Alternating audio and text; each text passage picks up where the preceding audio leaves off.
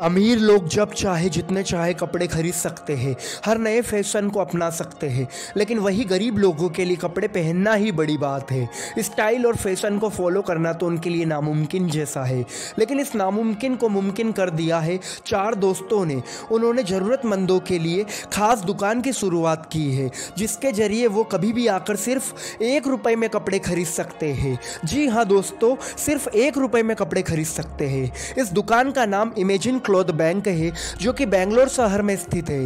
ये दुकान पूरी तरह से ज़रूरतमंदों के लिए ही बनाई गई है। इस दुकान के सभी कपड़े एक रुपए की कीमत में ही बिकते हैं, यानी जींस हो या टी शर्ट पेंट हो या शर्ट, यहाँ से खरीदी गई हर चीज़ की कीमत सिर्फ़ एक रुपये है। आपको बता दें कि ये अनोखी दुकान चार दोस्तों का आइडिया थी, जो एक साथ कॉलेज में पढ़ते थे। और हाँ ये दुकान हर रविवार को खुलती है, और यहाँ किसी भी उम्र के लोग आकर कपड़े ले सकते हैं। कपड़ों की कीमत एक रुपये रखने के पीछे का कारण यह था कि वो चार दोस्त चाहते थे कि ग्राहकों के सम्मान का भी ख्याल रखा जाए, जिससे उन्हें भी लगे कि हम कपड़े मुफ़्त में नहीं ले रहे, बल्कि कीमत देकर उन्हें खरीद रहे हैं।